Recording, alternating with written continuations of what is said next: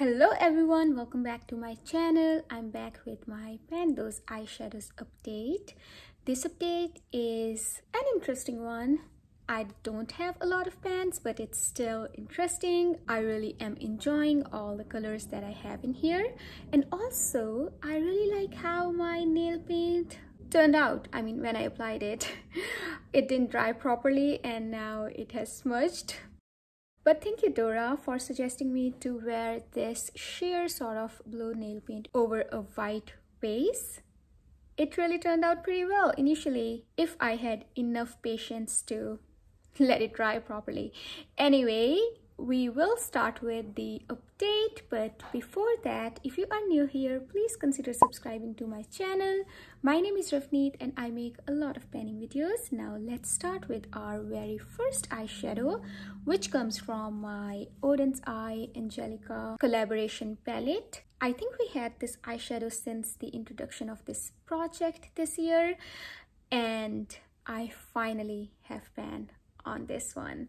So we were working on this eyeshadow called venom and since last update i used it five more times in order to hit the pan and this is how it's looking like today. We hit huge pan on this eyeshadow.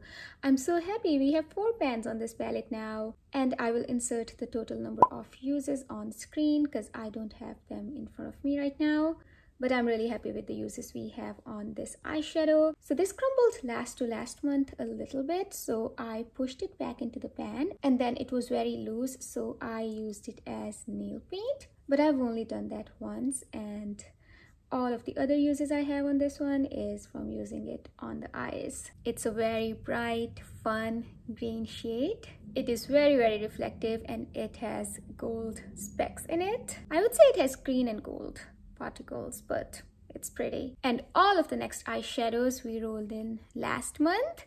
And the first one is from my Norvina palette. We rolled in this eyeshadow called Soul from this palette. And ever since rolling it in, I have used it five times. This is quite an unexpected shade.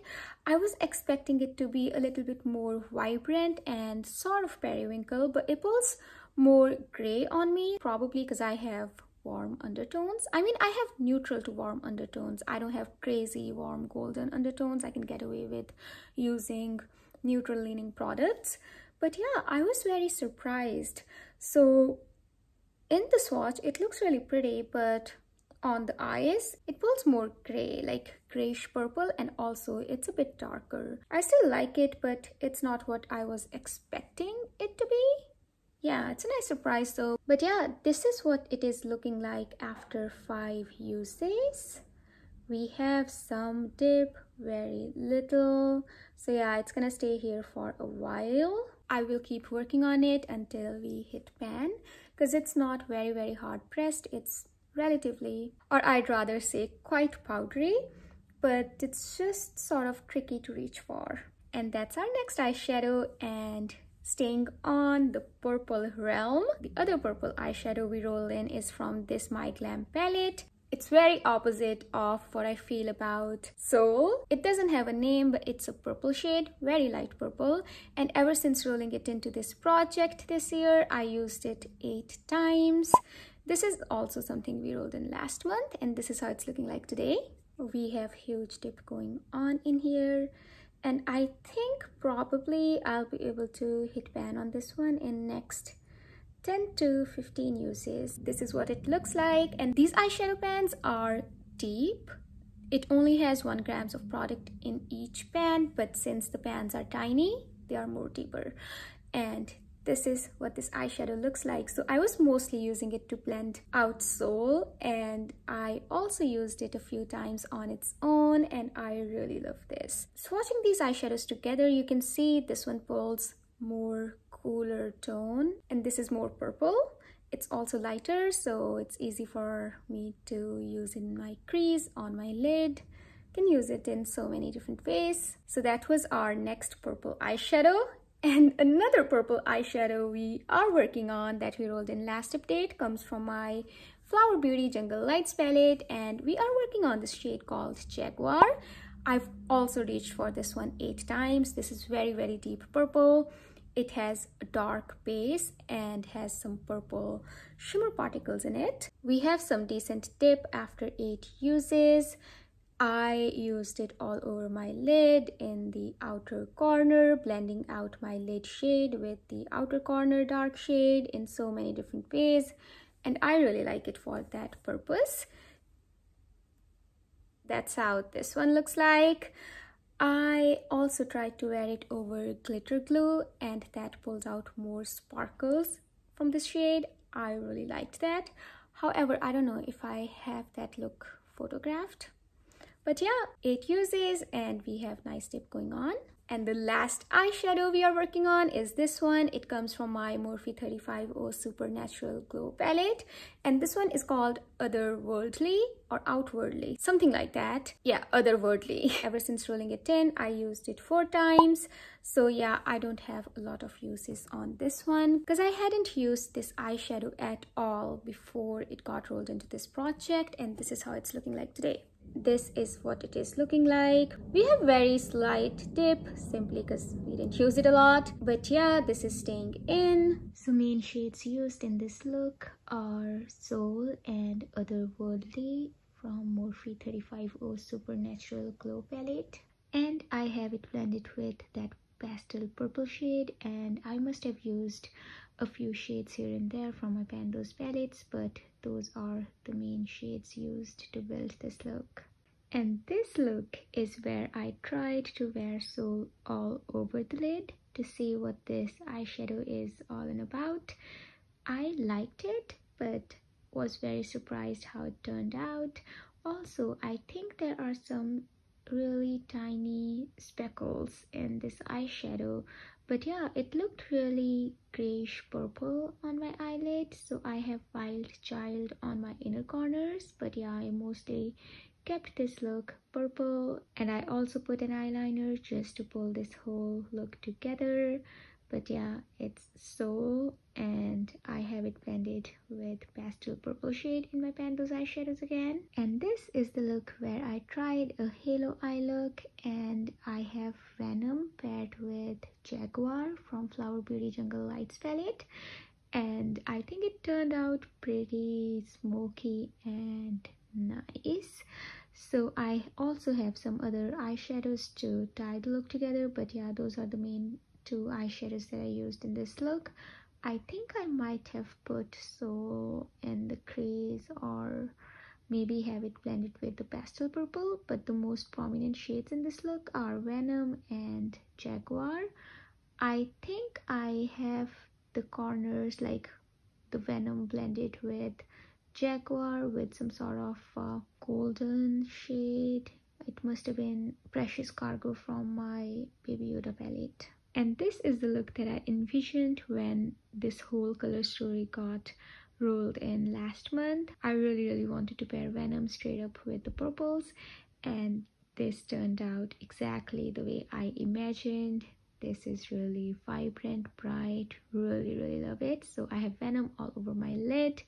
I think I might have fluorescence in the inner corner, but yeah, it's mostly Venom that is more prominent. And then I have Soul in my outer corners, blended with that pastel purple. I might have put some tiny bit of Jaguar in far outer corner of my eye as well. But yeah, I really love this look.